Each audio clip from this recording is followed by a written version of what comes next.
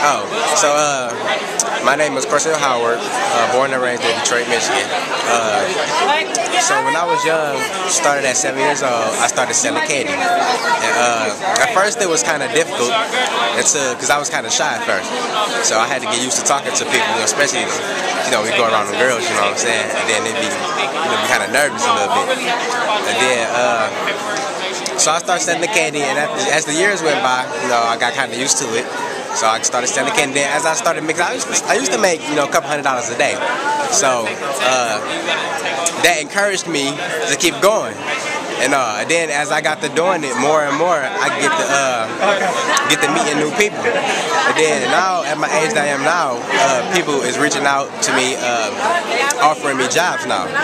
So, uh, so to you young students, uh, you young men and women, uh, I encourage you to, you know, be successful and all. Uh, you know, go to school still, get your education, get them good grades, you know, because life is nothing without them good grades, you know what I'm saying? You got to go to college, you know.